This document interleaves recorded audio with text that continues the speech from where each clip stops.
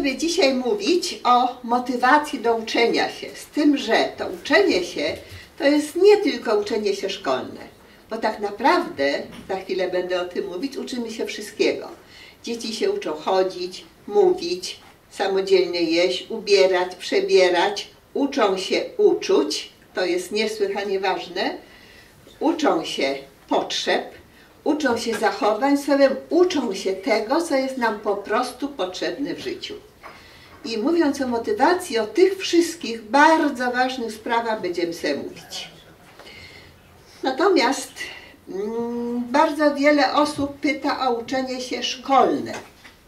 I dlaczego tak jest, że dzieci mające pewne zdolności, w przedszkolu także bywa, ogólne, humanistyczne, ruchowe, rysunkowe, nie chcą robić tego, jak, w jakim kierunku są zdolne. Albo nie osiągają takich wyników, jakich oczekujemy i to wcale nie dlatego, że są jakieś obiektywne kłopoty. I teraz, jaka może być tego przyczyna? Czyli na czym polega sztuka motywowania, albo jeszcze inaczej, co my jako rodzice, nauczyciele mamy robić, żeby dzieci po prostu chciały chcieć. I o tym będziemy sobie mówić. To, co nazywamy lenistwem, że dziecko czegoś nie chce robić, nie będę. Rysujemy. Wszyscy rysują. Dlaczego nie? Bo mi się nie chce. Nie będę. No właśnie. To, co nazywamy potocznie lenistwem, to w psychologii jest brakiem motywacji do działania. I co to jest ta motywacja? Jeżeli coś zrobimy, to wiele osób się pyta, bliskich, dlaczego? Dlaczego to zrobiłaś? Dlaczego to powiedziałaś? Dlaczego coś się stało?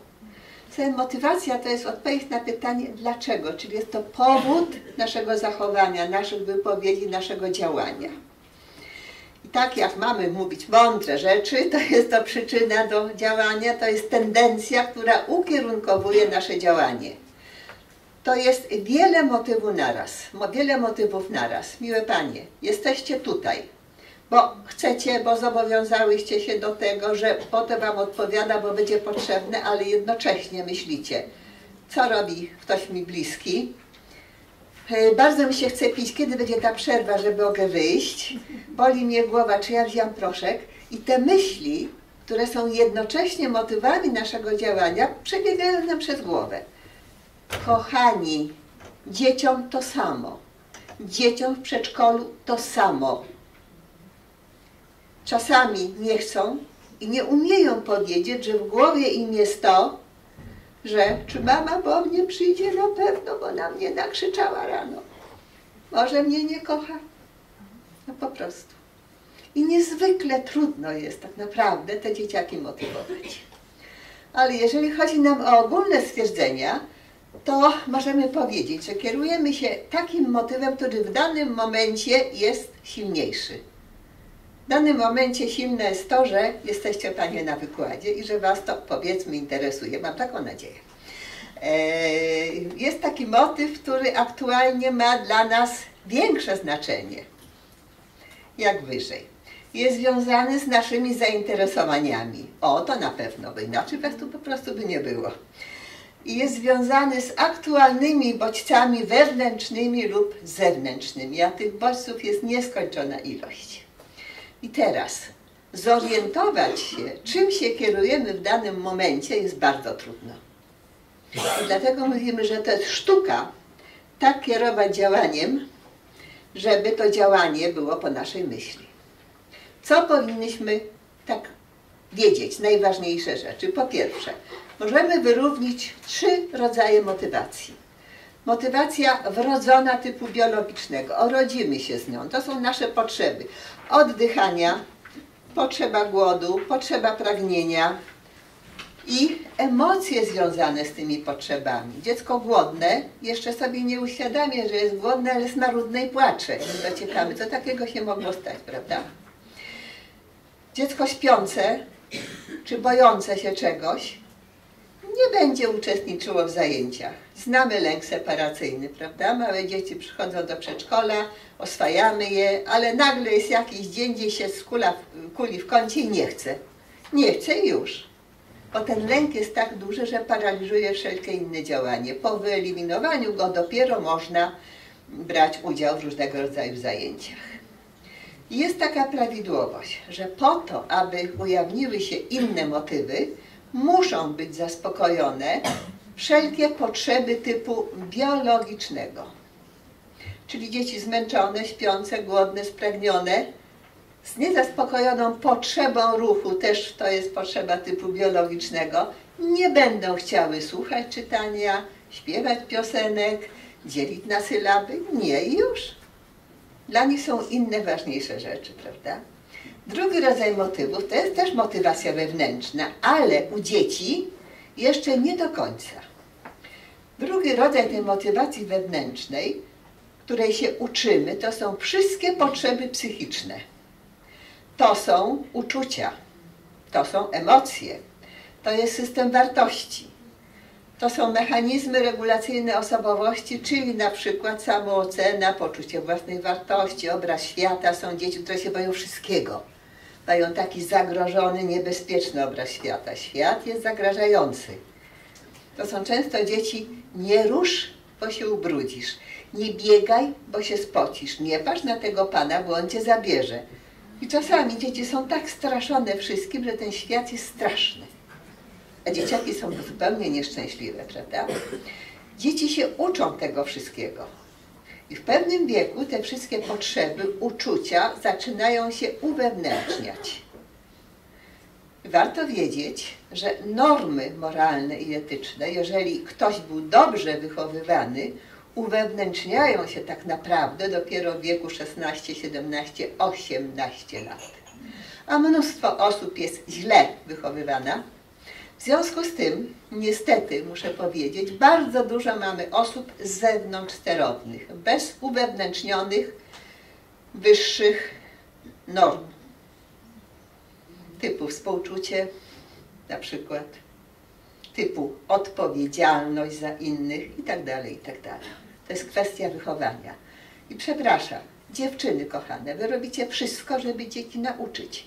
I odpowiedzialności, i obowiązkowości. Zjadłeś? Posiedź jeszcze chwilę, dyżurny, zanieś to, prawda? Uczymy te dzieci, co one mają robić, a potem mówimy, dobrze, zrobiłeś to, co po prostu potrzeba. I też przyczyniamy się do uwewnętrzniania tych wszystkich norm, zasad, tego wszystkiego, dzięki czemu możemy współżyć z innymi. To są bardzo ważne sprawy. Wreszcie mamy trzeci rodzaj motywacji, która dominuje u małych dzieci. Jest to motywacja zewnętrzna. Są to nakazy, zakazy, regulaminy, przepisy prawne, kary i nagrody. Bardzo ważne dla dzieci. Oczekiwanie na awans, karierę. I jeszcze raz powtarzam, jeżeli tego typu motywacja przeważa u ludzi dorosłych, to mamy na myśli że to są ludzie z zewnątrz sterowni. Mamy mnóstwo przykładów ludzi zewnątrz sterownych. Oficjalnie jestem ok, ja prywatnie mogę robić co chcę. Nieprawda. Jest jedna moralność, zachowuje się niezależnie od tego, gdzie, tak samo. A bardzo trudno jest tego nauczyć. I bardzo dużo błędów jest w procesie uczenia właśnie takiej motywacji. Motywacja, jak już wspomniałam, zmienia się wraz z wiekiem. Zmienia się rodzaj motywacji, bo ja to najbardziej lubię się bawić samochodami, niczym innym. Za dwa lata ja to, ten, to samo dziecko, ja to najbardziej lubię budować z klocków Lego. Zmienia się, prawda? Zmienia się siła motywacji. To, co kiedyś było najważniejsze, teraz przestaje być ważne. Coś innego jest najważniejsze. Zmienia się znaczenie motywu. Lubisz chodzić do szkoły? No, a dlaczego? Bo panią lubię. I jak się nauczę czytać, to pani mnie chwali za dwa lata uczę się czytać, bo lubię książki czytać i muszę to robić szybko. Zmienia się to wszystko wraz z wiekiem, zmieniają się zainteresowania. I to wszystko zmienia się zależnie od wieku. Musi potrwać pewien czas, żeby te zmiany zachodziły. U młodszych dzieci właśnie oprócz zainteresowań z racji zdolności, emocji, występuje motywacja zewnętrzna. Dzieci są głównie z zewnątrz sterowne, ale już nie we wszystkich zakresach. Jeżeli dziecko jako małe jeszcze, zanim poszło do przedszkola, było zachęcane do samodzielności, rodzice się cieszyli, że dziecko coś osiągnęło, to już u takiego dziecka ukształtowała się dosyć silna, prawidłowa, pozytywna samoocena. Ja umiem, ja potrafię, jeżeli potrafię to, to będę robić co innego i też będę potrafić. Ale u niektórych dzieci tego nie ma. Więc mamy tutaj ogromne różnice indywidualne. U starszych uczniów, czyli jak skończą to przedszkole, to dopiero po jakichś pięciu, sześciu latach, bo to tak mniej więcej długo trwa, i trwa to także zależnie od doświadczeń, zaczyna przeważać motywacja typu wewnętrznego. Ale też tak nie do końca. Wszystko zależy od wychowania. Yy, pierwsza gimnazjum, niby już powinna być ta wewnętrzna motywacja. Lubisz chodzić do szkoły? Nie. Dlaczego? Bo ja zawsze muszę mieć szóstki i piątki. Nienawidzę tego Mamy motywację zewnętrzną, prawda? Wymaga się ocen od dziecka, a nie umiejętności, a nie wiedzy, którą się potem wykorzystuje. Czyli to też jest zależne od wielu czynników i bardzo zależne od wychowania. Jakie są typowe motywy uczenia się uczniów młodszych i dzieci? Są zainteresowane pisaniem, czytaniem, liczeniem, rysowaniem, oglądaniem książek, słuchaniem, jak panie czytacie im, prawda? Cieszy je nowość sytuacji. Proszę pani, lubi mnie pani? Ile razy dzieciaki pytają. I to jest też motyw. Pani mnie lubi, wiesz? Jeszcze jak se pleni, to tak śmiesznie brzmi. A dlaczego pani cię lubi? Bo mnie lubi. Bo ja jestem taki, że mnie lubi. Dzieci odpowiadają tak po dziecięcemu, ale w tym jest zawarte przekonanie, że ja jestem kimś. Po prostu bardzo ważny motyw. To są indywidualne kontakty z nauczycielem, to są pochwały zainteresowania. Dawno temu, jak moja wnuczka jeszcze była w przedszkolu, odbieraliśmy ją z mężem, schodzimy na dół, na dole była szatnia, długi korytarz i wisiały tablice, na których przypinano rysunki dzieci. Przychodzi taki chłopaczek z grupy mojej wnuczki i woła, mamo, mamo, zobacz, tu mój lisunek wisi. Gdzie? Tu. Jak zawsze, najgorszy. Mama mówi. A dziecko mówi, wcale nie wiesz. Moja pani powiedziała, że on jest taki nalny. Jaki? Nalny, no nie wiem, no taki nalny. To ja słyszę to i mówię, oryginalny. Tak, taki nalny. Tak poplątałem te wszystkie kleski, że to jest ładne. No i mama się zamknęła. I tej pani kłaniam się nisko do tej pory, jak ją gdzieś spotkam, a czasami ją jeszcze spotykam, że powiedziała coś, co pozwoliło uwierzyć dziecku, że coś potrafi. Że potrafi, że zrobiło coś, co można pochwalić i zauważyć. Bardzo ważny motyw, prawda? Wymagania. Jeżeli dziecko czuje się lubiane, będę jeszcze o tym mówić, to stara się zrobić to, o co my je prosimy. I podnosimy wymagania, a dziecko to robi. Po prostu. Bo nas lubi. Bo my w nie wierzymy. I dlatego to robi. To jest też motyw, prawda? Wreszcie ważny jest system wymagań i system wzmocnień, czyli nagrody i kary poświęcę temu trochę czasu. No i imponowanie rówieśnikom to jest bardzo ważny motyw. Dzieci się chwalą zabawkami, chwalą się także tym, że mój tata jest tym, a mój tata jest tamtym. A mój tata jest najmądrzejszy, bo jest policjant. I jak ci psywali pałką, to będzie słuchał. No, różne są te wypowiedzi dzieci, ale każda coś zawiera. Każda zawiera jakieś przemyślenia dziecka na temat, jak ten świat funkcjonuje. Jeżeli to zdołamy wychwycić, no to możemy o tym z dzieciakami rozmawiać, prawda? Najważniejszym motywem u wszystkich dzieci, u wszystkich, są emocje i uczucia. Emocje z łaciny emotere, motor do działania, powód działania, czyli po prostu inaczej motywacja, tak. Wszystkie dzieci w wieku przedszkolnym i jeszcze w klasach 1-3, czasami jeszcze dalej, kierują się w swoim działaniu nie zasadami, nie normami, nie dlatego, że tak trzeba, ale kierują się emocjami. Po prostu podejmują takie działania, które sprawiają im radość. Nie chcą robić tego, czego nie lubią, a czego nie lubią dzieci, czegoś, co jest nudne, ale najczęściej czegoś, co jest dla nich zbyt trudne. Jeżeli, miłe panie, macie robić ocenę dojrzałości wśród ostatniej grupy przedszkolnej, to jeżeli popatrzycie, że dziecko z reguły nie lubi biegać, skakać, no to ma tutaj trudności. Trzeba to napisać, jaką ma równowagę, jaka zwinność ruchu, bo z reguły jest to obniżone. Jeżeli dziecko nie chce rysować, to ma obniżony poziom grafomotoryczny. I to jest też wskazówka, nad czym mamy pracować. Po prostu. Dzieci same pokazują, z czym mają kłopot. I co to są te emocje? Wiecie co? Mamy różne definicje wszystkich rzeczy, ale nikt do tej pory nie stworzył definicji emocji. Nie ma. Nie ma. Żadnej encyklopedii, żaden mądry psycholog, pedagog, etyk nie stworzył definicji emocji. Stosujemy taką definicję opisową. Czym się różni od definicji logicznych? Pytamy Mądralińskiego z ostatniej grupy przedszkola, co to jest wróbelek? Wróbelek to taki ptak, czy dziecko podaje pojęcie nadrzędne, który, potem szczegółowo. Dziecko trochę młodsze mówi, wróbelek to ma dziób, łapki, skrzydełka, brązowy, to jest taka definicja opisowa, tak, taka, taka sama jak emocje.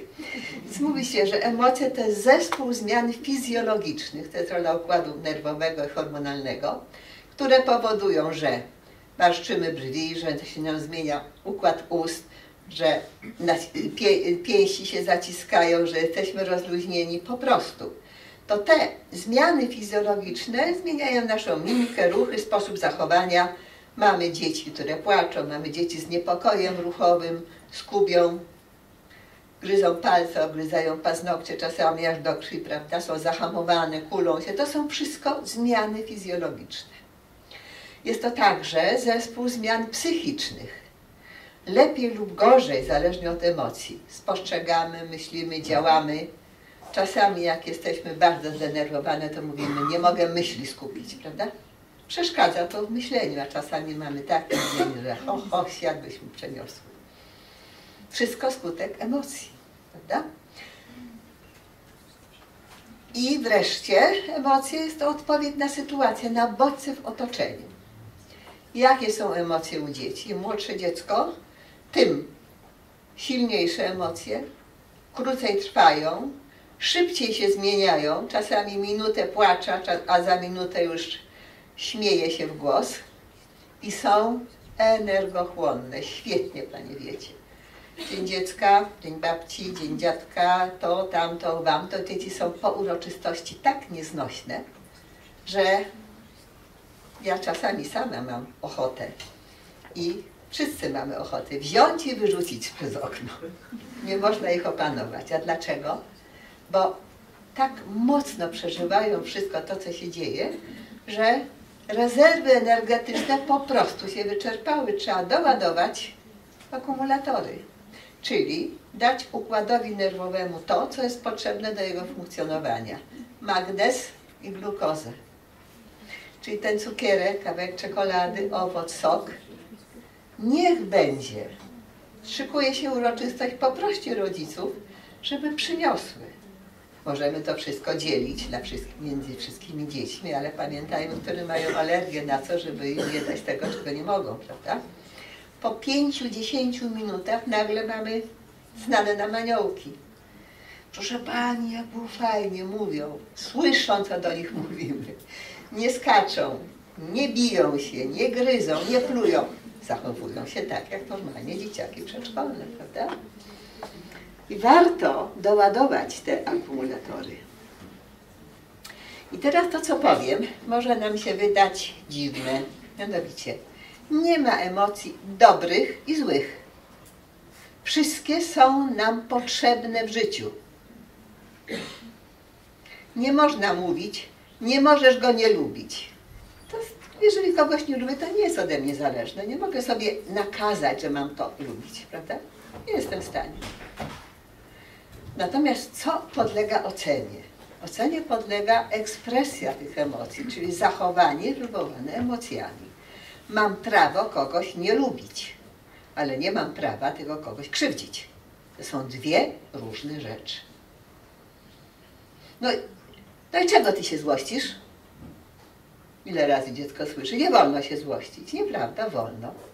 Tylko my musimy nauczyć dzieci, jak mogą się złościć, żeby innych nie krzywdzić, ani nas, ani rówieśników, prawda? I teraz, do czego nam te wszystkie emocje służą?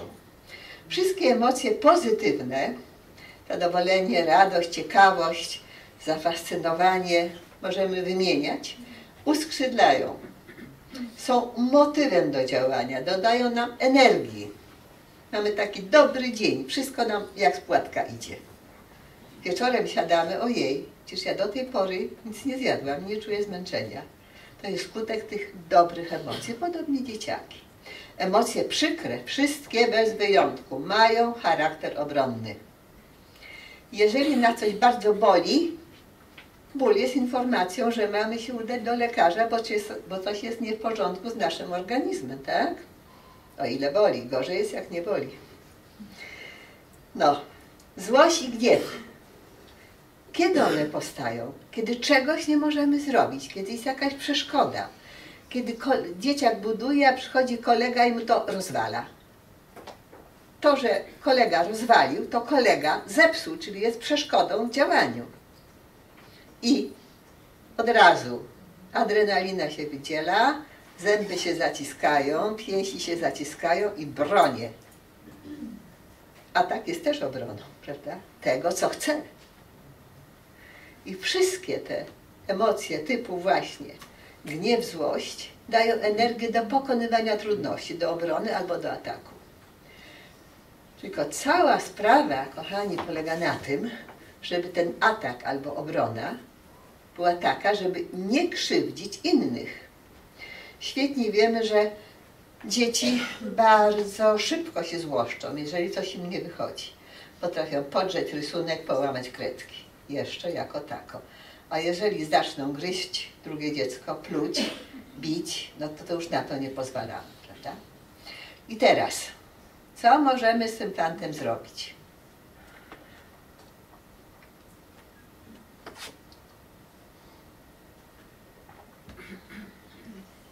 Ja pracowałam z dziećmi tak, że, bo muszę się przyznać, że jeżeli piszę coś o dzieciach czy dla dzieci, to sprawdzam to. Mam zaprzyjaźnione przedszkola, w których bywam i patrzę, czy to, co napisałam, jest prawidłowe, czy też to jest to jakiś mój wymysł. Więc jeżeli zajdzie jakaś taka sytuacja, gdzie dziecko się rzuca na drugie i bije, to możemy powiedzieć, żeby wszystkie dzieci sobie usiadły w kółku i mówimy do delikwenta. Bardzo byłeś zły, Piotrek, na tego Marka, tak? No bo on mi zepsuł. Mhm. Ale wiesz, co ci powiem? A wszyscy posłuchajcie, nadstawcie uszy. Jeżeli każde, jeżeli jak ktoś z was zaczyna być zły, to dodatkowo włazi w was pani złość. Taka brzydka pani, która mówi napluj, ugryź, wyrwij zabawkę, kopnij, pokaż język, dokuczaj. Piotrek, Marek, Kasia, jesteście takimi fajnymi, mądrymi dzieciakami. I wy pozwalacie, żeby pani złość wam mówiła, co macie robić? Wysłuchacie takiej niedobrej pani złości? A wiecie, co można zrobić? Można spróbować panią złość z siebie wyrzucić oswoić ją, czyli zrozumieć, że w was siedzi pani złość i ją z siebie wyrzucić. Jak? Można ryczeć tak głośno jak lew. Kto z was słyszał, jak lew ryczy? Jak ryczy? Uuu, no chyba troszeczkę inaczej. Kto jeszcze słyszał? Kto słyszał? Jest świetna zabawa, dzieci naśladują lwa. I teraz, jeżeli pani złość takiego lwa usłyszy, to się tak zaczyna bać tego lwa, że ucieknie z was już przestaje was namawiać. Można tupać tak mocno nogami jak słoń. Pani zło się wystraszy, że ją zadepczecie i ucieknie. Na dworze można kopać tak mocno piłkę, też pani zło się wystraszy, że ją kopniecie. Można biegać tak szybko, jak jakie zwierzę najszybciej biega. Gepard, od razu dzieciaki powiedzą tak. Można biegać tak szybko jak gepard, pani zło się wytrzęsie i ucieknie. A co jeszcze można zrobić, wiecie? Można pójść do kącika. W wielu przedszkolach taki kącik jest, gdzie są stare gazety, gdzie jest kosz na śmiecie albo jakieś pudło. I można na kawałki, na małe kawałki, tak mocno drzeć te stare gazety, że pani zło się też wystraszy, że wy ją tak podrzecie i ucieknie. A te podarte gazety można zwinąć w kulę i celować do pudła czy do kosza. Ile razy wam się uda wcelować? A to trzeba robić cichutko. A wiecie, co jeszcze można zrobić? W takim kąciku są mazaki i kredki, takie, które miękko rysują, i ołówki, kartki.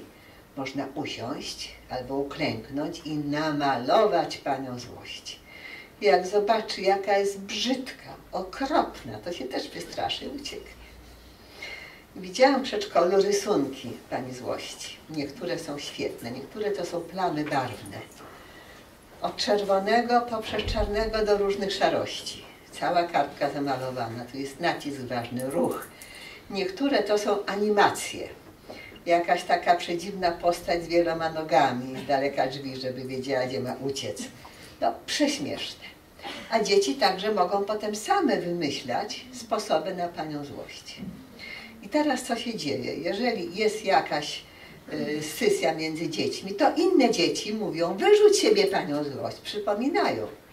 I aktów bujek, plucia, gryzienia jest coraz mniej w grupie. No a co ma, by, co ma zrobić ten opluty, podgryziony czy kopnięty? Dla niego też jest sposób. Mówimy, jak ciebie ktoś uderzy, to ty nie uderzaj tego kogoś i nie wpuszczaj w siebie panią złość. Stań, rób się taki wielki, wielki do sufitu i powiedz, nie wolno, nie chcę, nie lubię, nie rób tak, nie pluj, nie gryź. I popatrzcie, co się wtedy stanie. Wszystkie dzieci zaczną patrzeć na kolegę, który tak się zachował. Jemu się robi głupio i wstyd. I pani też to słyszy? I po dwóch, trzech miesiącach okazuje się, że tych aktów złości i agresji jest coraz mniej w przedszkolu. I warto także z rodzicami o tym porozmawiać, żeby nie karali dzieci, jak się w domu złoszczą, tylko żeby nauczyli dzieci, jak mogą w sposób bezpieczny zmniejszać swoje napięcie psychiczne, uderzać poduszkę, rysować, różne rzeczy. Dlaczego to jest takie ważne? Małe dzieci, jeszcze nawet takie 11-12-letnie, nie potrafią jeszcze dostatecznie kontrolować emocjonalnego zachowania.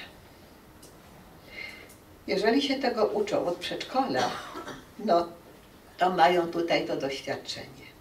I przepraszam, jak ja słyszę, że tatuś wziął niemowlaka za nogi i roztrzaskał jego głową o ścianę, to ja się od razu zastanawiam, dlaczego nie było nikogo, kto by nauczył tego tatusia, jak miał 3, 4, 5 lat, w sposób nieszkodliwy dla innych zmniejszać swoją złość i napięcie. Jest to bardzo ważna sprawa. No i takie różne myśli mi do głowy przychodzą. Strach ma funkcję obronną, ochronną. Jeżeli się czegoś boimy, unikamy. Czasami dobrze, czasami nie bardzo, to wtedy pomagamy dzieciom ten strach oswoić. Nie kłamiemy, dziecko się boi doktora. No to mówimy, kochany, no nie jest przyjemnie, jak zimną słuchawką dotyka Twoich pleców. Proszę, masz tutaj słuchawkę, sam dotknij sobie, tak? Zastrzyk, szczepienie. Płaczesz, jak Cię komar ugryzie? Czasem tak. No to tu też może trochę popłakać. Taki zastrzyk troszkę boli ale jest potrzebny. Można to dzieciom wytłumaczyć, a nie na siłę, nie oszukiwać, że nie będzie bolało, bo potem dziecko nam po prostu przestaje wierzyć. Smutek. Po co nam smutek? Po to, albo dlatego, że w życiu jest bardzo wiele i dobrych, wesołych chwil, i tych smutnych. Te smutne chwile, lub bardzo smutne, kiedy stanie się coś bardzo złego, jeżeli ktoś odejdzie, coś stracimy, to nam się wydaje, że nam się wali świat. I jeżeli tego swojego smutku nie przeżyjemy, nie przetrawimy, to nie będziemy potrafili potem żyć. W wielu książkach są narysowane, szczególnie w książce Jak mówić, żeby dzieci nas słuchały, jak słuchać, żeby dzieci do nas mówiły, narysowana jest taka scenka. Tatusiu, rybka mi zdechła. No też z powodu rybki tutaj tego wyjesz i płaczesz, kupimy nową. Ja nie chcę nowej. Dziecku jest smutno, straciło rybkę i co można zrobić? Widzę, że bardzo ci smutno. No, to była moja ukochana rybka. Wiem, dbałaś o nią, karmiłaś, rozmawiałaś z nią. No, ja mówiłem, zaraz ci dam jeść, a ona robiła tak. Tak buzię otwierała, wiesz? I tobie mówiłam, żebyś mi pomógł wodę zmienić. Dziecko o tej rybce opowiada, jednocześnie przeżywa swój smutek. Nie jest karane za to, że się smutzi. Przeżyje mi kilka tygodni. Może mi kupisz rybkę, ale inną niż przedtem, bo tamtą bardzo kocham. Tak to wygląda. Pomóżmy dzieciom przeżyć ich smutki i smuteczki. Nie drwimy z nich. To dla nich są bardzo poważne rzeczy. Każde dziecko, każdy z nas powinien przeżyć wszystkie emocje i wszystkie uczucia, bo to one nadają barwę życiu. Jeżeli nam jest smutno, to potem zupełnie inaczej przeżywamy radość, doceniamy. Jeżeli nam jest źle, to zupełnie inaczej potem przeżywamy okres, kiedy nam jest dobrze. Po prostu tak jest życie. Z tym, że w procesie wychowania, jeżeli jest przewaga emocji pozytywnych, radości, zadowolenia, satysfakcji przy małej ilości przykrych, to takie dziecko i taki człowiek jest do życia przygotowany. Jeżeli jest przewaga emocji przykrych, to w efekcie prowadzi to do unikania sytuacji, do lęku, do zachowań anty lub aspołecznych. Dzieci, które przeżywają różnego rodzaju dramaty, jako dorosłe nie będą umiały żyć w normalnym społeczeństwie. Jednym z bardzo ważnych źródeł emocji są słowa. Mówimy do dzieci w bardzo różny sposób. Są takie dobre słowa, które otwierają dziecko. Dobrze. Naprawdę ty sama to zrobiłaś? No niemożliwe może. Jakaś wróżka ci pomogła. Dzieciaska, czy ja sama, ja sama. No wiesz, świetnie. I te dobre słowa, co pewien czas, nie za byle powodują, że dziecko je bardzo ceni. One motywują do tego, żeby właśnie tak się czy inaczej zachowywać. Nie udało mi się. Hmm. A wiesz, co ci się nie udało? To, to, to i to. Słuchaj, odkryłaś ważną rzecz. Skoro wiesz, co ci się nie udało, to drugi raz to ci się uda. Bardzo ważna sprawa. Są złe słowa, wywołujące przykre emocje i obniżające motywację. Źle. No kiedy wreszcie zmądrzejesz? Brzydko. Ile razy w szkole słyszałam takie zdanie, no co ty nam dzisiaj mądrego powiesz? W pierwszej klasie, dziecko w drugiej już ani razu ręki do góry nie podniosło. Dziecko ma prawo wiedzieć, że ma prawo do błędu. I że na błędach się wszyscy uczymy. Jeżeli zrobimy coś źle, to się zastanawiamy razem z dzieckiem, jak to można zrobić inaczej, prawda? Toksyczne słowa, które zabijają motywację, odbierają nadzieję, które powodują, że siedmiolatek przychodzi do poradni i ja mówię, narysuj. Nie. Dlaczego? Bo nie. Dlaczego? Bo nie. Już jest agresja. Powiedz mi na ucho, dlaczego nie bo ja wiem, że mi się nigdy, że mi się nigdy nic nie uda się. Skąd siedmiolatek uogólnił to? To nie jest odkrycie dziecka, to są reakcje rosłych, że dziecko jest takie. Ale tenże właśnie siedmiolatek w pierwszej klasie, to to w ogóle nie chciał rysować ani pisać, spowodował, że zaczęłam na ten temat myśleć i to przy dziecku i mówię tak, masz tu kartkę ołówek, miękki, i robimy konkurs. Kto wygra? Czy ja pierwsza policzę do 10, czy ty pierwszy narysujesz najbrzydziej jak potrafisz? Otarł łzy, uśmiechnął się. Ja liczę jeden, dwa, do pięciu nie policzyłam. On mówi już. Kartka zamazana takimi ym, jak to dwu, trzylatek koła takie rysuje. Spirale. Myślę, co tu powiedzieć. I mówię tak. Widzę całą zamalowaną kartkę. Całą.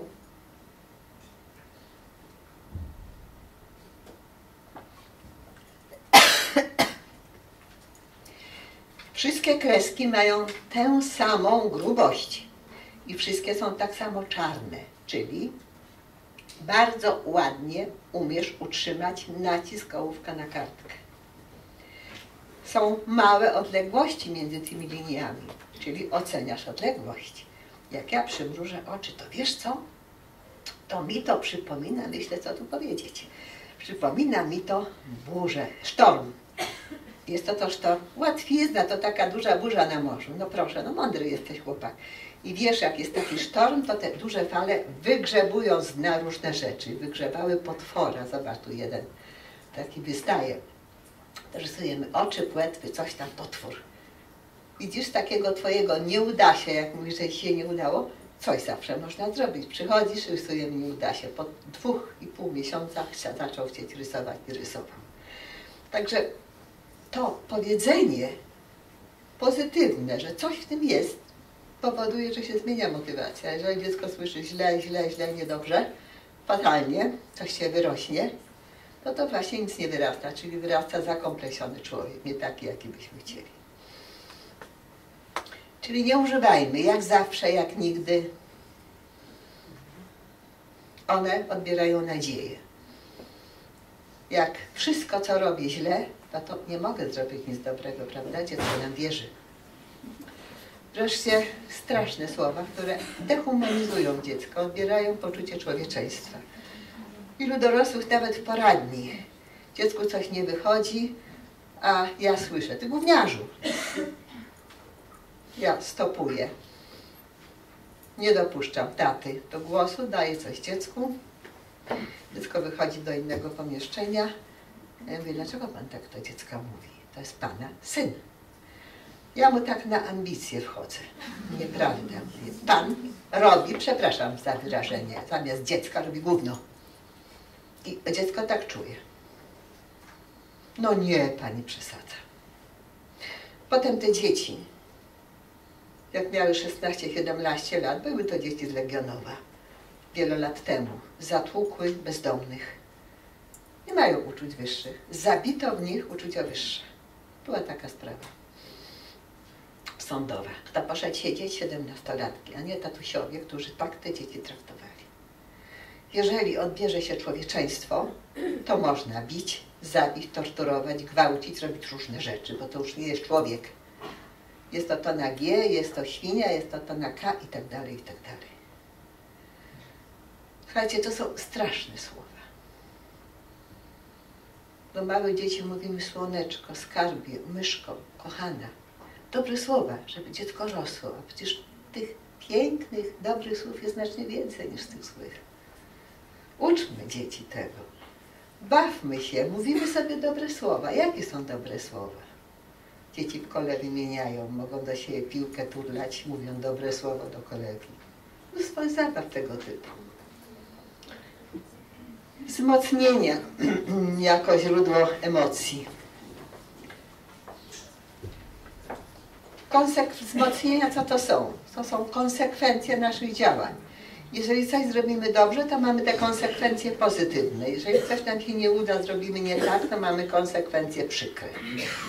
Konsekwencje pozytywne możemy nazwać nagrodami naturalnymi lub społecznymi. Konsekwencje przykre możemy też nazwać karami naturalnymi i społecznymi. Jeżeli maluch, mimo że je mówimy nie, nie rusz, łapie za gorące żelazko, to raz w życiu złapie, drugi raz nie. I z tego to powodu ludziom, wydawałoby się myślącym, przyszło do głowy, że kary to jest panaceum na wszystko. Karać, karać, karać, no to dziecko będzie dobre. Nieprawda. Dlaczego? o ile kar naturalnych nie da się uniknąć, jeżeli się tak zachowam, to zawsze będzie przykrość, to kar społecznych da się uniknąć. Dziecko w poradni, pięciolatek, dziewuszka, coś rysuje po infekcji. Rysuje co chwila, no palec wędruje do nosa, mama mówi, Amelka, chowa rękę. Za chwilę zerka, znowu. Amelka, chowa rękę. Za piątym razem dziecko odwróciło się do mamy, tu oczyściło sobie nos palcem. Można, można, mama nie widzi, mogę robić to, czego mama zakazuje. Dam taki trywialny przykład, ale w bardzo wielu ważniejszych rzeczach robi się to, co się chce, ale w ukryciu, prawda? I tak naprawdę, jeżeli stosujemy wzmocnienia, to nagrody mądrze stosowane, pochwała, zachęta, przytulenie, miłe zaskoczenie, pozytywna opinia powodują, że motywacja rośnie. Jest motywa i dziecko jest motywowane do powtarzania tych nagrodzonych zachowań, ale, jak mówię, trudno jest nagradzać. Musimy się nauczyć nagradzać. Kary, bicie, krzyk, zakazy, zabranianie. Dziecko dostało jedynkę. Poniedziałek, piątek przyniosło dzienniczek. To cały przyszły tydzień nie ogląda telewizji. Czy to ma jakiś sens? Jaka jest zależność między jedynką a nieoglądaniem w przyszłym tygodniu telewizji? Żadnego. I tak naprawdę to kary z reguły nie eliminują nagannych zachowań, ale je modyfikują. Uczymy się kłamać, oszukiwać, ukrywać, doskonalić zachowania przestępcze, tak żeby nas nikt nie złapał. Prawda? Ponadto kary wywołują negatywne emocje. To to jest nerwica u małych dzieci, u dzieci szkolnych. Jest to lęk przed karą, bo karą jest zła ocena za to, czego dziecko nie może zrobić. Jest mało zdolne, dostaje jedynki. Nagromadzenie jedynek prowadzi do nerwic. Bardzo upraszczam, to jest bardziej skomplikowany mechanizm, ale zasada jest tego typu. Częste kary powodują cały szereg emocji negatywnych. Lęk, agresję, złość. Ponadto, jeżeli dziecko jest szarpane, bite, wrzeszczymy na dziecko, to dziecko od nas uczy się negatywnych zachowań. Bite dzieci biją innych. Skąd jest taka agresja wśród młodzieży? Skąd mamy kiboli, którzy się umawiają, żeby się naparzać, aż do zabicia włącznie? Jeżeli by prześledzić historię życia tych nastolatków, już od 12 lat, czyli szósta klasa szkoły podstawowej, to się okazuje, że to są dzieci, gdzie były bardzo ostro karane fizycznie. Bite. No i w nich jest taka agresja, którą potem muszą rozładować. Wreszcie kary powodują unikanie źródeł karania. Dzieci gubią dzienniczki. Nie ma. Głowa mnie boli okropnie, muszę, się, muszę do łazienki wyjść, jak czuję, że będzie zapytane. No, unika tych źródeł karania, ucieczki z domu. Jest po to, żeby nie było lania. Prawda? Unikanie źródeł karania. Prawidłowe stosowanie wzmocnień to jest zwykle przewaga emocji i nagród czyli dające emocje pozytywne, z małą ilością wzmocnień przykrych. Wszystkie te przykre powinny mieć wartość informacyjną. Jeżeli jest małe dziecko i nic nie rozumie z tego świata, to nie można go karać. Bo nie rozumie za co, co, jak. Nie rozumie. I ta wartość powinna być, jak jeszcze raz powtarzam, informacyjna, a nie represyjna, bo dziecko z tego nic nie rozumie. Czemu płaczesz? Bo pani na mnie nakrzyczała. A dlaczego? Nie wiem. Opowiedz, jak to było, dziecko z przedszkola. Bo pani mówiła o takim, takiej, ek, takim czymś, że nie można śmiecić. O, dziecko tak ekologię nazwało. Takim czymś, że nie można śmiecić. Pani mówi, a Paweł rzuca papierek na środek. To ja do niego mówię, cicho, żeby pani nie przeszkadzać. Paweł, podnieść papierek, bo nie wolno śmiecić. I pani na mnie nie krzyczała, że ja gadam, przeszkadzam. No. I dziecko ma się taką karą przejąć. Przejmuje się, że to jest niesprawiedliwe, bo dziecko akurat robiło to, o czym pani mówiła. I dziewczyny miłe, Dzieciaki mają różne powody do tego, żeby psocić, być nieznośnymi. I jest na to jeden sposób. Nie za karę siadaj tutaj. Ale widzę, że jesteś bardzo zmęczony, trudno ci się opanować. Chodź tutaj na chwilę, posiądź, usiądź i odpocznij. Książkę sobie przejrzyj. Masz tu czy trzy klocki, coś zbuduj. Usiądź i odpocznij. I dopiero jak dziecko trochę odpocznie, mówimy, wiesz co, nie podobało mi się twoje zachowanie. Odpocząłeś, to teraz będzie się dobrze bawił, nie będziesz innym dokuczał. Dziecko dostaje informację, a nie za karę. Ono nie jest w stanie zapanować nad sobą. Jak możemy karać dziecko, które nad sobą nie panuje? To tak, jakbyśmy siebie karali, że mamy temperaturę. No, za karę, że mam gorączkę, to nie wiem, co sobie zrobię. No nie tak. No i tak to właśnie mniej więcej wygląda. Dlaczego w procesie wychowania, nauczania wszędzie przeważają kary? Bardzo łatwo jest kogoś karać, nie musimy się tego uczyć. Sami na własnej skórze wiemy, co nam przynosi przykrość. Gorycz i wszystkie inne negatywne emocje, uczucia. A poza tym, teraz mówię samą prawdę, karząc innych, my sami rozładowujemy swoje negatywne emocje. Tak jest naprawdę, prawda? Tak, powiedziałam, że mi jest teraz łatwiej. No. Wiele razy w poradni słyszę, kończę jednego pacjenta, brzydko to tak brzmi, kończę e, wizytę z jednym pacjentem, matka z drugim czeka w poczekalni i czasami no, drzwi są takie, że czasami słychać. I przy dziecku mama mówi, takiego mu dam klapa, że ja się trochę uspokoiłam. Co dziecko z tego rozumie? Zdenerwowany jestem, no to daję klapa. No, sama prawda. Nagradzać jest trudno. Trzeba robić to odpowiednio, zmieniać nagrody, rzadziej. Ale tutaj jest jedna, jedna ważna sprawa. Wszystkie dzieci, teraz będę mówiła o potrzebach, chcą być kochane i akceptowane. I największą nagrodą jest powiedzenie coś takiego, że dziecko rośnie w naszych oczach.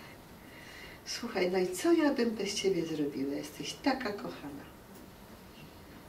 Za coś, co dziecko naprawdę zrobiło. I nie trzeba kupować zabawek, płacić za stopnie straszne rzeczy i taki, takich robić dziwnych, innych rzeczy, zachowań. Wie Panie, w materiałach macie więcej na temat kar i nagród, macie przykłady kar, kiedy kary bywają skuteczne, ale nie w odniesieniu do takich maluchów, tylko trochę starszych dzieci. No i jak te nagrody powinny być tutaj? Bardzo dużym błędem jest nagradzanie za wszystko. Już nie będę dawać przykładów, bo czas nam ucieka, ale wiecie o co to chodzi. Czasami widzicie w szatni, jak pięknie kichnęłaś. To nie. Kichnęłaś, bo masz katar, prawda? No właśnie, nie tak. Natomiast, proszę, kichnęłaś, masz chusteczkę. O, coraz lepiej umiesz wydmuchiwać nos. Za to nagradzamy. Jakie są podstawowe potrzeby, które powodują, że ta motywacja dzieci i młodzieży jest dobra? Potrzeba akceptacji. Kocham, to rodzice kochają, my lubimy dzieci i cenimy.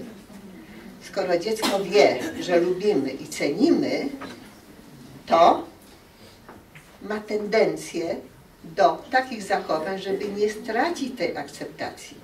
I bardzo często robi bardzo trudne rzeczy, dlatego że jest cenione. Duża rzecz. Naprawdę duża rzecz.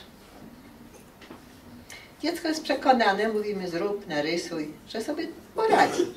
Dlaczego? Że zrobi to. Dlaczego? No bo my mówimy, że zrób to. No to jak pani mama mówi zrób to, to ja to zrobię. To jest taka ogromna wiara w to uczucie. Potrzeba uznania. Aha, jeszcze ta potrzeba akceptacji. Moment. Proszę Pani, lubi mnie Pani? I wtedy wszystkie, a mnie, a mnie, a mnie, a mnie. I trzeba powiedzieć każdemu po imieniu, że Ciebie lubię. Nie, że wszystkich lubię. Wszystkich to nic nie znaczy. Każde dziecko musi usłyszeć swoje imię, wtedy to odnosi do siebie. A kto pyta najczęściej? Takie dziecko, które narozrabia. Przychodzi, proszę Pani, ale Pani mnie lubi. Ciebie? Adaś, Ciebie bardzo lubię. Ale wiesz co?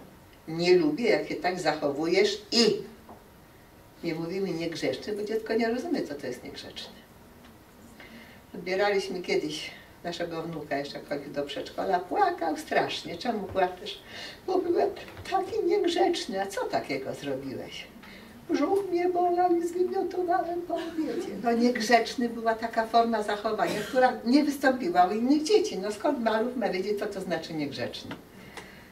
Mówimy, nie lubię jak popychasz dzieci, nie lubię jak uderzasz dzieci, nie lubię jak za szybko jesz, bo się rozlewa. Nazywamy zachowanie, którego nie akceptujemy. Ciebie lubię, ale wiesz co, takie to zachowanie zawsze możesz zmienić na inne. Będzie wszystko w porządku. Dzieci łapią to i korzystają z takich naszych właśnie podpowiedzi. I to korzystanie z podpowiedzi jest potężnym motywem do pracy nad sobą. Próbuję, próbuję. Proszę pani, zrobiłem. Nie wątpiłam, że zrobisz. Gratulacje. I to jest ta największa pochwała. Potrzeba uznania. Proszę pani, dobrze, proszę pani ładnie. No i teraz znowu wracam do mojego konika. Hmm. Oceniając zachowanie innych, zawsze widzimy to, co jest złe. Nie, nie, nie, niedobrze, niedobrze, niedobrze. Studenci mi piszą, jak zaczynam z nimi yy, ćwiczenia na temat osobowości. Proszę, żeby napisali na kartkach dla siebie swoje. Słyszę chór wady, a ja mówię, nie, zalety. Zalet? Wad za czyjeś bym napisała. Jak my wychowujemy dzieci? Skąd one mają wiedzieć, co jest dobre, jeżeli im tego nie pokazujemy? I tutaj zaspokajając potrzebę uznania, dziecko pyta, proszę Pani, ładnie narysowałam?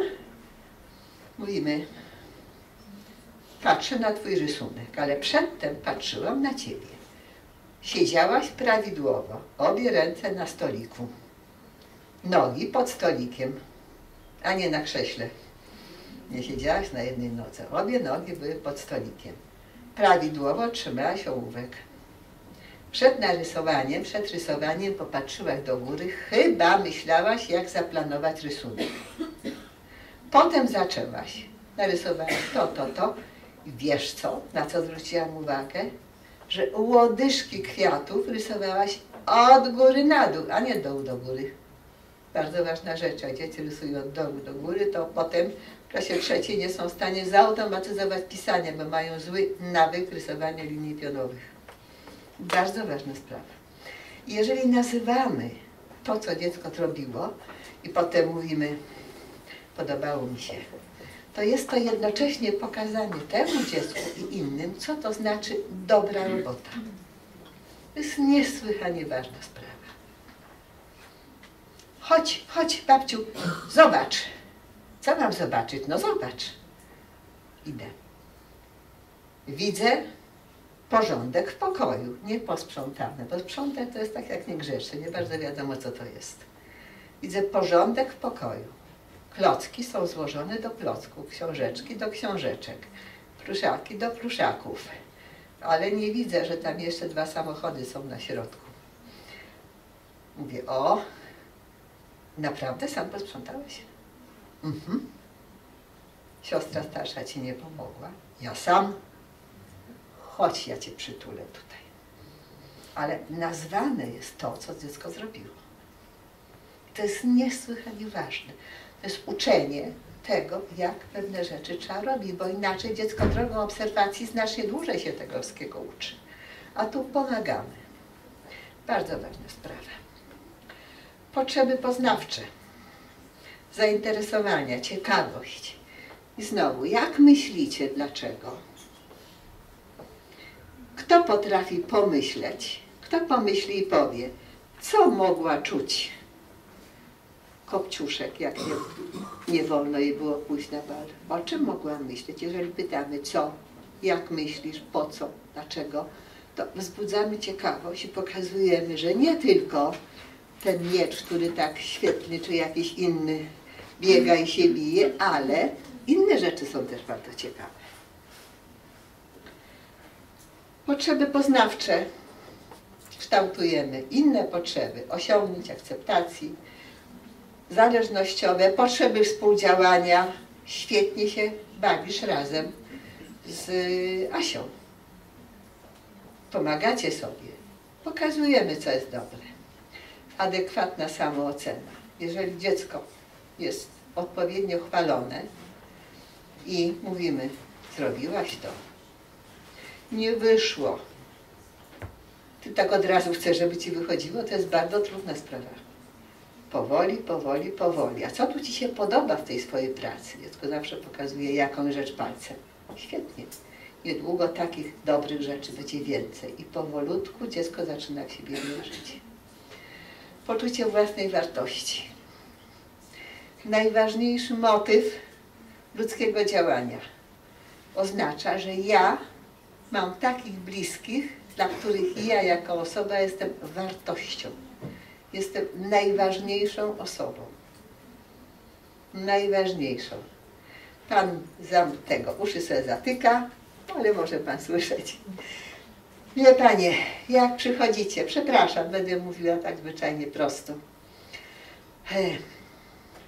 Makijaż trochę szedł, włos zmierzwiony, spocony po całym dniu pracy, ręce do ziemi z siatami, przepraszam, biust nie do przodu i myślimy, marzymy, żeby mieć 10 minut spokoju, żeby od nas nikt niczego nie chciał. Wchodzimy do domu, stawiamy te siaty i ktoś nas obejmuje i mówi, wiesz co, dobrze, że jesteś. I niczego od nas nie chce. I to jest to. A dla panów, wiesz co, tak marzyłam, żeby ten obrazek wisiał. Powieszony jest, taką radość mi sprawiłeś. Hm? No właśnie, też Pan mrugnął, że to tak. Czyli mówmy sobie, że jesteśmy sobie wzajemnie potrzebni. Dzieci, Popatrzcie, Basia przyszła. Basiu, cieszymy się, że jesteś z nami. Chorowałaś, smutno nam było bez ciebie. To co, zaśpiewamy Basi piosenkę, narysujemy dla Basi kwiatek i Basia jest cała dumna. Wszyscy, wiesz, wszyscy mi dali kwiatki. Jak to wszyscy? No narysowali i dali. I to rośnie. Jeżeli dziecko czuje się akceptowane, kochane, my też. No to przecież zachowujemy się tak, żeby tej miłości, akceptacji, tego poczucia wartości nie stracić. Bardzo ważne. Jeżeli tak jest, to świat jest taki, że da się w nim żyć. Jeżeli dziecko się boi, to albo jest lękowe. Jeżeli było wychowane tak, że świat jest zagrażający, niebezpieczny, agresywny, to dziecko idzie na ten świat z pałą w ręku, z nożem, bo trzeba walczyć. Wszystko zależy od wychowania, od zaspokajania tych wszystkich potrzeb. I teraz tak, pracujemy z dziećmi. Jesteśmy dla nich mistrzami. Jesteśmy dla nich osobami do naśladowania. I żeby je motywować do pracy nad sobą, do rozwijania umiejętności, do zdobywania informacji, do pokonywania tego w cudzysłowie lenia, to po pierwsze, warto poznać możliwości dzieci bardzo różne. Odporność na zmęczenie też. Najważniejsza jednak rzecz, lubić te maluchy. Jeżeli je lubimy, to chętnie z nimi pracujemy. I to wypalenie zawodowe, które nas na pewno dotknie, wtedy mniej nas dotyka. Możemy sobie zaplanować, jak odpocząć, żeby wrócić potem i znowu je móc lubić. Ważna sprawa. Pracujemy z dziećmi w oparciu o sterowanie pozytywne. Widzimy ich dobre cechy, wtedy one do tych dobrych właściwości chcą dorastać. Wspieramy ściaka w trudnych sytuacjach. Mówimy, trudno, smutno ci, popłacz, chodź przytulę cię. Przytulamy dzieci, bo dotyk to jest ogromna wartość terapeutyczna dla dziecka. Dobry dotyk, dotyk otaczamy ramię dziecka. plecy dziecka. Dziecko powinno znać wymagania, oczekiwania. Zwyczajnie mówimy o tym. Jesteśmy konsekwentni. Wreszcie, bardzo najtrudniejsza rzecz. Próbujemy współpracować z rodzicami uczniów. Jak? Nie skarżymy, ale mówimy, proszę na moment. Mówimy najpierw pozytywy. Tu dobrze, tu dobrze, tu dobrze. I zwykle mówimy, wie Pani co, ale zaczęłam się martwić, bo. I pokazujemy problem. Jak można mu pomóc? I wtedy rodzice na nas widok nie będą uciekać ani się chować między wieszakami. To jest to bardzo ważna sprawa. No i stosować ruch jako formę odpoczynku. No i kończąc, troszeczkę przedłużyłam, o 4 minuty. Sztuka motywowania, czyli robienia czegoś, żeby dziecko chciało chcieć, robić to, co my chcemy, żeby robiło, podam jeszcze, jest możliwe, gdy uwzględniamy możliwości, właściwości dzieci i stawiamy im odpowiednie wymagania, jeżeli chodzi, jakie są możliwości dzieci i co musimy uwzględniać. Czas skupiania uwagi, ruchliwość, wolne rysowanie i pisanie, szczególnie w pierwszej klasie, drugiej jeszcze w czwartej, prawda? Pozwalamy działać, poznawać zmysłowo, odpoczywać w ruchu, największą przyjemnością dla dzieci jest zabawa. I nawet jak dzielą na sylaby, to niech siedzą na dywanie niech w trakcie tego dzielenia podskakują, niech y, uderzają, niech klaszczą do, do rytmu. I w 2009 roku, jak weszła ustawa, znaczy rozporządzenie o tym, że macie Panie robić ocenę dojrzałości szkolnej, ustawiła się kolejka do poradni. Mama przychodzi. Proszę Pani, Pani psycholog, Pani synka powiedziała, że on ma dyslekcję. Jeszcze źle mama powtórzyła. Pytam się dlaczego, bo nie umie dzielić na sylaby. Sprawdzam. Dzieli, nawet pięciosylabowy wyraz bezsensowny przeze mnie wymyślony podzieliło, dzwonię do przedszkola. No bo nie umie dzielić na sylaby, a jak pani to sprawdzała? No przeczytałam instrukcje, instrukcje też bywają durne, miłe panie, wiecie o tym. Mamy głowy, durnych instrukcji nie stosujmy. Yy, nie słyszałyście tego. Ja to powiedziałam i zawsze to mówię głośno. Instrukcja była taka, pani przeczytała. Podziel na sylaby wyraz krakowiak. Skąd pięciolatek ma wiedzieć, co to sylaba, co to wyraz, co to krakowiak? Nie ma prawa. Ja to robię tak. Posłuchaj, powiem Ci takie piękne słowo mama. To słowo mama podzielę na takie kawałki, jak mi się otwiera buja i klaszczę. Ma, ma. Daj łapki razem dla klaszczenia. Teraz Ty na takie kawałki podziel słowo kotek. Kotek, piesek, piesek. Dzieli, dzieli. Na przykładzie i wszystko inne też na przykładach. Bo takie są możliwości dzieci, znam je, prawda? No właśnie, dzieci mają prawo do błędów. Niech się na błędach uczą, nie, nie próbujmy karać dzieci za błędy. Rozlało się. Nie mówmy, trzeba uważać. No rozlało się, no to co trzeba zrobić? pójdę do pani, wezmę ścierkę. No oczywiście, że tak. Brawo, wiesz, co masz zrobić potem. Mhm. Mówimy im wiele dobrych słów. Uczymy pokonywać trudności. Jak się dogadamy z rodzicami, to te dzieci idą jak burza. I to wystarczy do tego, wiele z tego, nawet nie wszystko, żeby dzieci chciały chcieć. I na tym polega sztuka motywowania. I, miłe Panie, słuchałyście tak, że ja się rozpędzam, rozpędzam, rozpędzam mimo suchości w gardle. A Wy tak pięknie słuchacie, że kłaniam się i dziękuję za to.